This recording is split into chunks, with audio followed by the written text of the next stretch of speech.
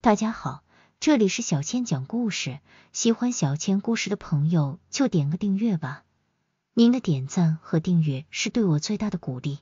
话说，在清朝乾隆年间，安庆府曹县往南两公里的地方，有个小山村，村子不大，也就三四十户人家。村里有个樵夫叫沈大牛，靠砍柴为生，一般都是早上去砍，上午挑到城里去卖。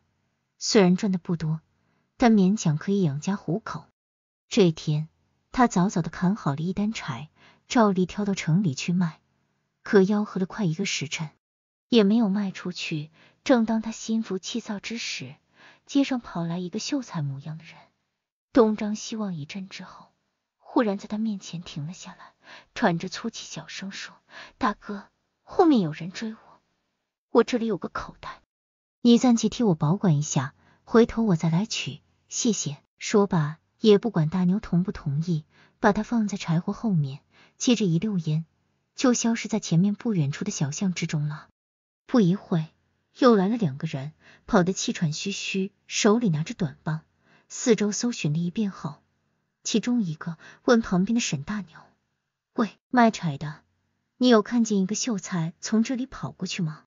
沈大牛反应神速，朝巷子相反的方向指了指，道：“好像从那边跑过去了。”两人信以为真，拔腿赶紧追了过去。可沈大牛等了好一会，也不见那个秀才回来。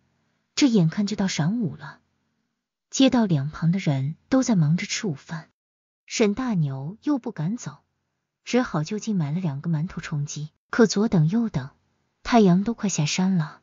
依然不见秀才回来，有路过认识沈大牛的人说：“你还在这傻坐着干嘛？还不赶紧回家，城门马上就要关了，到时候你想走都走不了。”沈大牛站起身说：“嗯，我这就走。”接着提起口袋，是个粗布做的，还挺厚实，掂了掂，挺沉的，又用手捏了捏底部，硬邦邦的，不知道啥玩意。他觉得自己够仁义了。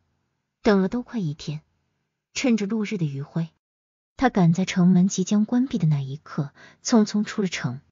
等回到家时，天已经擦黑了。妻子刘氏见他这么晚回来，抱怨道：“我以为你挑到京城去卖了，还知道回来。”沈大牛扬了扬手中的口袋，道：“哎，别提了，就为了等它的主人，不然早就回来了。”刘氏很好奇。一把夺过道，我倒要瞧瞧是什么值钱的宝贝，值得你等这么一整天。结果打开一看，两人顿时惊呆了，里面是两锭银元宝，足足一百两整。刘氏惊喜道：“相公，这下咱们发财了。”沈大牛的表情刚好相反，冷静的说道：“发什么财？这又不是我们自己的，不能要。”刘氏不满道：“你脑袋是不是进水了？”送上门的东西，凭啥不要？如果别人想拿，早拿去了，也不至于让你等到天黑。沈大牛道：“今天没来，不等于明天也不来，这可是不义之财，用着也不安心。再说，假如他明天来了，我向人家怎么解释？”刘氏道：“这有啥可解释的？你就不会编个理由，就说被被偷了。”沈大牛道：“你真是想钱都想疯了。”以为别人都是傻瓜，这也会信？说什么也没用，不能要就是不能要。说罢，他把口袋扎紧，藏在了一个隐秘的角落里。刘氏气得顿足捶胸，骂了他半个时辰之久。第二天，沈大牛砍好了柴，准备挑去城里去卖，忽然想起了那两锭银元宝，是拐回了家里。万一那个秀才今天来取，也好顺便交还与他。等他掀开昨天藏的地方，元宝竟然不翼而飞了。沈大牛好生奇怪，便把刘氏叫到跟前问：“娘子，昨晚你也看到我藏在这个地方了，怎么一夜之间突然就不见了？你说怎么回事？”刘氏不屑的看了他一眼，道：“你问我干嘛？我怎么知道？”沈大牛道：“昨晚就我们两个人，又没有旁人，你是不是不甘心？”悄悄把它藏起来了。刘氏道：“我哪有？你可别血口喷人。”沈大牛又在附近扒拉着找了找，还是没有，不觉自言自语道：“这就奇了怪了，难道真的被你言中，让贼人偷了去？我看八成是。”刘氏幸灾乐祸道：“不过这样也好，免得放在家里只能看不能用，看着让人难受。”沈大牛摊了摊手道：“我几乎每日都要去卖柴，如果那人今天找我来取，我该如何是好？”刘氏道：“你就实话实说呗，他爱信不信，还能宰了你。”沈大牛也无他法，想想也只好如此，便无精打采的挑着柴火进城了。虽然刘氏的嫌疑最大，可又拿不出任何的证据。沈大牛刚把担子放下，还没来得及擦把汗。秀才就从旁边奔了过来，解释道：“大哥，你可算来了，我都等你老半天了。昨天我怕他们杀回马枪，守在这里不走，因而就没敢回来，让你受累了。不知今天带来了没有？”沈大牛真不知道该如何回应他，生怕秀才讥笑，可不说又不行。只见他擦了把额头上的汗，红着脸道。说来你也不信，昨日我等到城门快关了，也没见你回来取，本想今日带过来给你的，没成想昨晚让贼人偷了去，实在不好意思。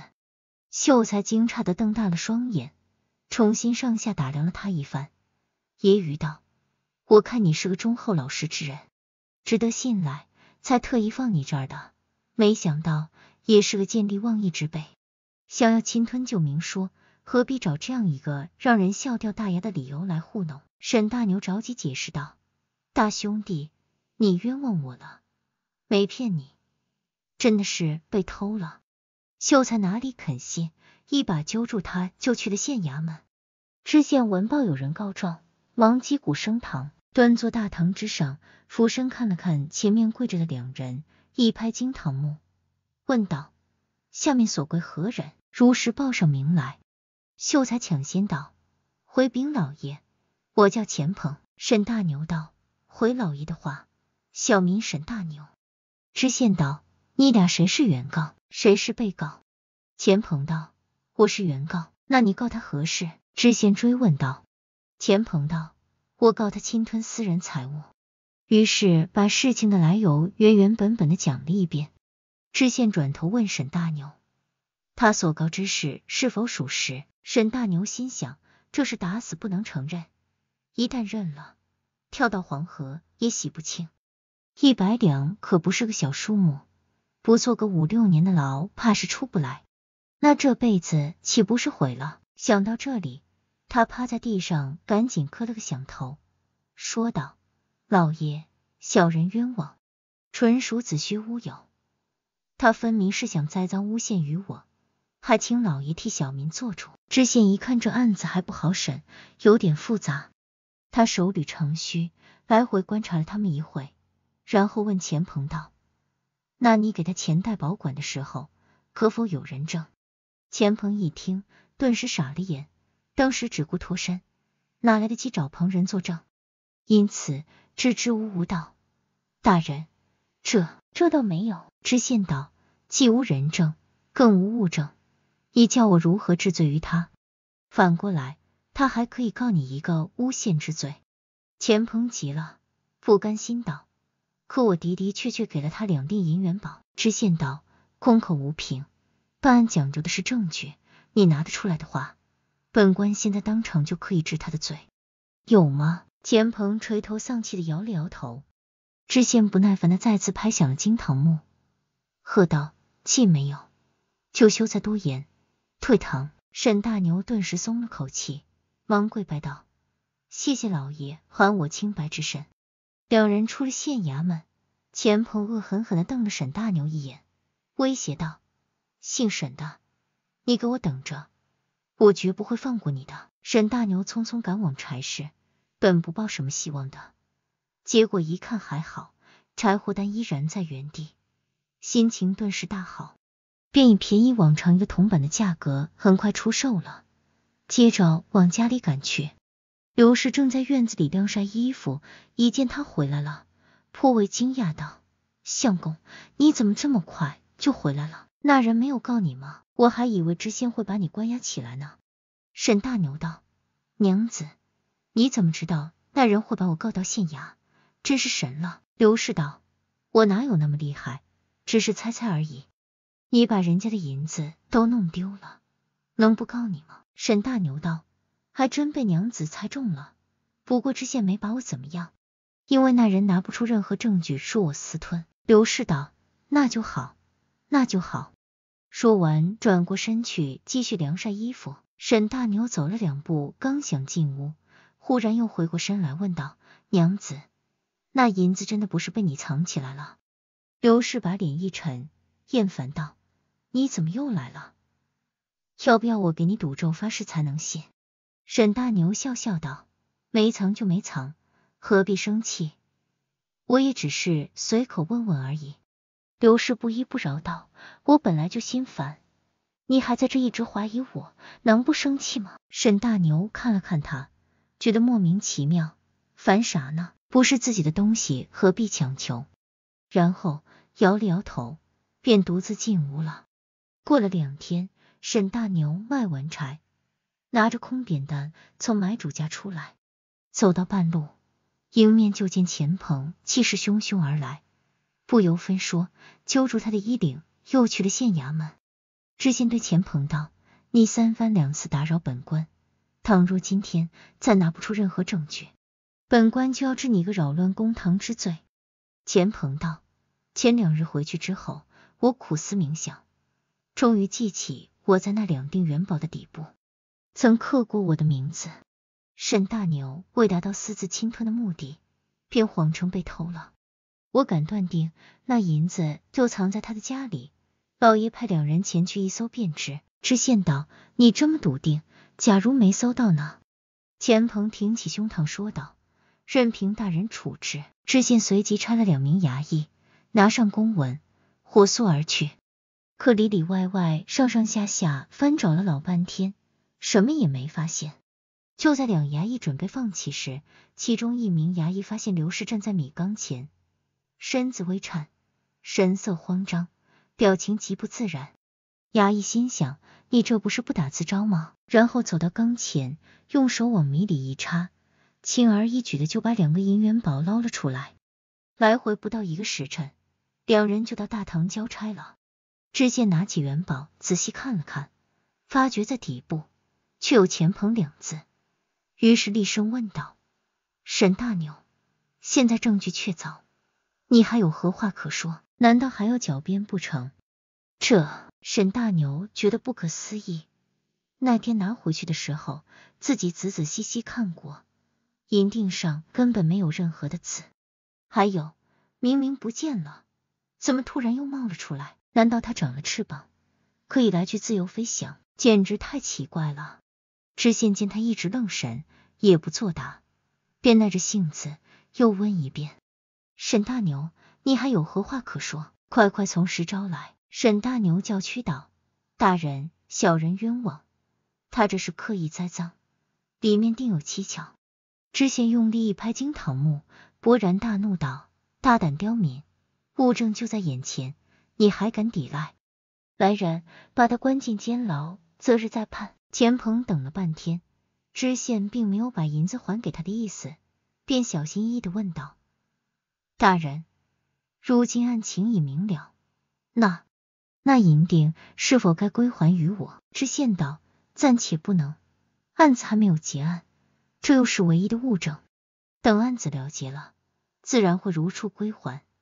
你放心回吧。”钱鹏深鞠一躬，得意而去。知县冷眼看着他出了门，把捕头叫到跟前。吩咐道：“你带上三四名捕快，尾随而去。一旦他露出马脚，立即抓来见我。”捕头不明就里，抓耳挠腮的问道：“大人，这案子不是已经很明了了吗？为何还要去跟踪他？”知县道：“你只知其一，不知其二。”捕头道：“大人请明示，愿闻其详。”知县道：“他第一次告发时。”为何不说银锭刻有他的名字？因为那时根本就没有。如果有的话，这么重要的证据，他岂能记不起来？过了两日，今天又说记起来了，分明事先与人合谋，已做好了手脚，挖坑竟等我们往里跳，并且还笃定说银子就在沈大牛家。你不觉得这里面疑点重重吗？我故意把沈大牛关进监牢，就是要诱使他放下戒备。现在出了衙门，定会得意忘形，急着去和他的同伙谋面。这也正是我们揭开真相的最佳时机。捕头道：“我现在明白了，还是大人高见，我这就带人盯上去。”钱鹏出了城门，直奔沈大牛家而去。刘氏一见，鬼鬼祟祟四处张望了一番。然后将钱鹏拉进了屋里，捕头带着几名捕快躲在一堆柴火垛后面。见此情景，马上合围了上去。只听刘氏道：“上回让他侥幸逃脱，这次知县大人应该把他关进监牢里了吧？”钱鹏奸笑道：“还是小娘子聪明，我看他没个十年八年休想出来了。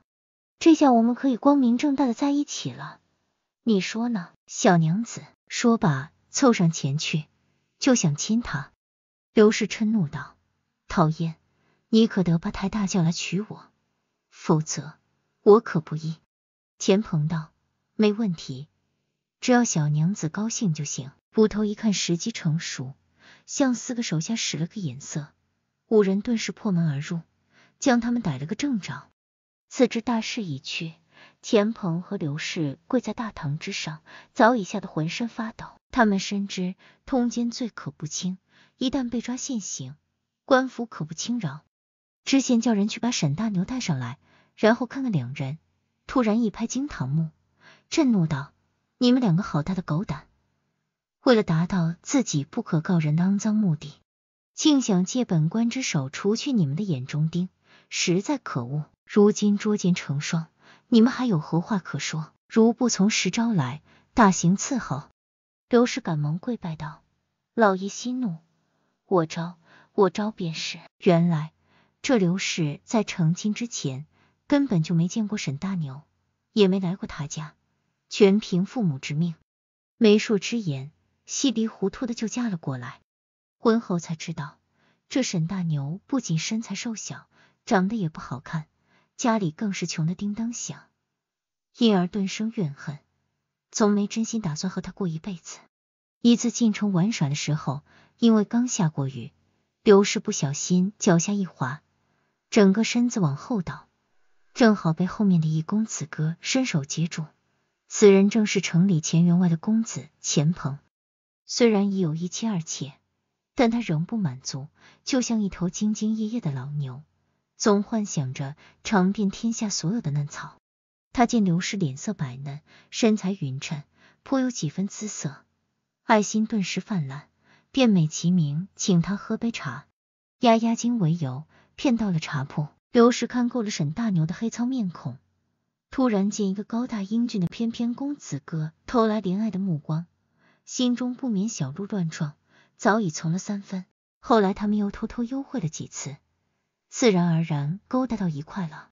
为了达到长期苟合的目的，钱鹏便自导自演了被人追赶，然后把银锭交沈大牛保管，再让刘氏半夜转移的戏码。本想第二天告他个私自侵吞巨额财物之罪，没想到被知县的一句“你有人证吗”而破防了。于是两人再次合谋，趁沈大牛出门砍柴卖柴的空档，悄悄来到沈家。用小刀在银锭的底部刻上“钱鹏”二字，本以为这次万无一失，定能瞒天过海，将沈大牛送进班房。哪知知县在任多年，办案丰富，一眼便看穿了他们诡计，才使得案情昭然若揭，他们的奸情也大白于天下。沈大牛在旁听得目瞪口呆，心就像被刀捅了一下，在无声的滴血。知县道。如今案情真相大白，根据大清律例，犯通奸罪者，予判加号示众，刑期一个月，男判杖刑九十。另外，这一百两赃银判给沈大牛，作为他的精神赔偿。沈大牛双手接过，忙跪地谢恩。接着，知县吩咐衙役道：“来人，把他们拉出去，立即执行。”两个衙役随即而上，把刘氏拖出门外。带上枷锁，然后用绳子牵着游街示众。围观的群众人山人海，嬉笑怒骂不绝于耳。刘氏羞愧的低着头，恨不得找个地缝钻进去。用现在流行的话来讲，就是伤害性不大，侮辱性极强，后悔放着好好的日子不过，非要虚荣心作祟，干那红杏出墙的勾当。可惜已经迟了。这边也过来两个衙役，手拿木棍，把钱鹏拖到堂下，另有两个衙役把他按住，一人一下，轮流杖责起来。九十杖过后。再看钱鹏，早已血肉模糊，气若游丝，躺在地上一动不动。家人含泪把他抬回了家，可不出两日，便气血而亡。刘氏一个月的刑期好不容易结束了，可解开枷锁的当天，他就投河自尽了，因为他早已不堪其辱，无脸示人。或许结束才是最好的解脱。沈大牛念在夫妻一场的份上。默默的替他收了尸，并把他安葬在附近的山脚下。沈大牛手里有了一百两银子，再也不用每天辛苦的砍柴卖了。他用五十两把原来破旧的土砖房拆了，重新盖了三间大瓦房，又用剩下的五十两在城里开了家酒铺。由于经营有方，童叟无欺，讲究诚信，生意蒸蒸日上。两年后。他又娶了邻村李木匠的女儿李双秀为妻，两人情投意合，夫妻恩爱。来年又为他生了对双胞胎，从此一家人过着幸福而快乐的生活。本期故事结束了，喜欢小千故事的朋友就点个订阅吧，我们下期再见。